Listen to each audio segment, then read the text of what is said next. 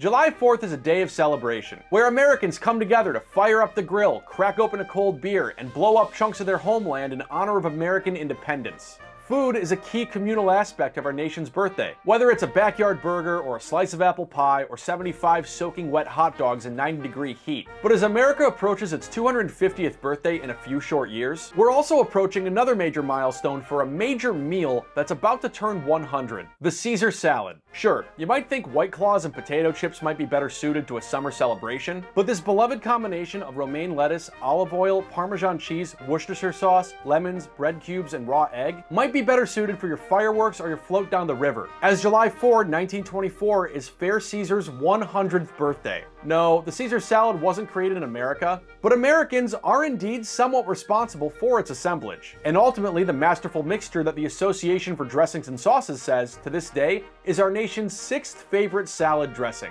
So the Caesar salad is said to be named for its inventor, restaurateur Caesar Cardini, who immigrated from Milan to San Diego after World War I, only to eventually open up a restaurant right across the US border in Tijuana, Mexico, to attract Americans who wanted to get drunk during Prohibition. Legend has it, according to Britannica, that business was so brisk on this 4th of July that Caesar's restaurant was running out of ingredients. And he not only improvised what went into this salad with whatever happened to be lying around the kitchen, but he ordered his chefs to assemble the dish in an eye-pleasing tableside preparation. From there, the Caesar salad took the world by storm, as any salad with the same name as a dictator would. And while some have called into question some details the salad's provenance, in 1953, a group of professional chefs in Paris called the Caesar salad the greatest recipe to originate from the Americas in 50 years. Well, we'll be celebrating American independence here in the US on July 4th. On July 5th through 7th, Caesar's restaurant in Tijuana will be hosting Caesar's Centenario. Days of events featuring world-class chefs, vintage wines, and an invitation-only gala dinner